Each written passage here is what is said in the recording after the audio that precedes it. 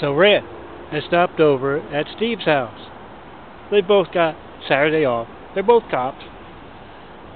And Steve Stevens has almost the entire family there this afternoon. He's even got his daughter Sally there. Sally's a cheerleader in college, and she's got a few of the other girls from the squad there. And it's obvious they've been having a real good time the night before. Got a little bit of a hangover.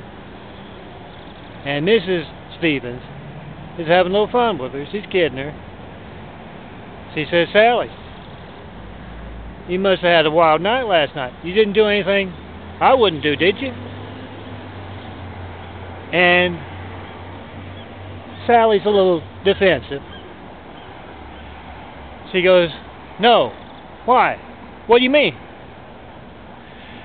And over on the other end of the room, Red and Steve are talking. And Steve goes, Hey, do you think Sally and her friends went to see the one and only Melt? I've been kind of hinting and nudging in that direction. And Red goes, Oh no.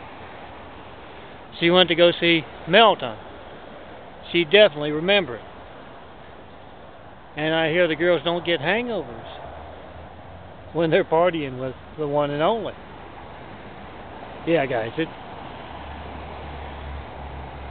it is true. A girl spends the night with Melton. She's definitely going to remember the experience.